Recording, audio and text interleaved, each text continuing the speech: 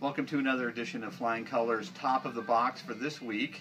Um, we, we're starting back here at the back counter where we process all of our toys and other cool things that come in for the week. And Andy here has already opened up the first box, so um, we're going to take a look at a couple of things here. We've got the Green Arrow action figure and the John Stewart Green Lantern figure.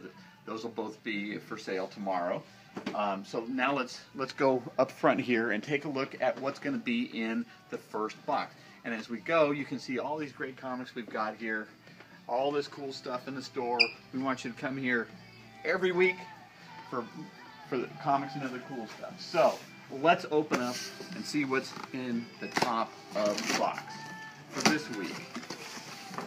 Okay.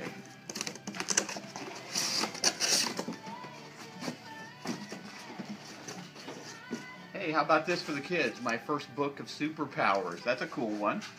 If you have any young kids in your life who are just beginning readers, uh, these are uh, this is a cool series of books that have been coming out recently.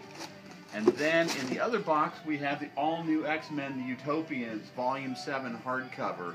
Uh, Brian Michael Bendis and uh, um, uh, great stories from the all-new X-Men series. That's what's at the top of the box for this week. We hope to see you this week and every week because we've got your cool stuff right here in flying colors.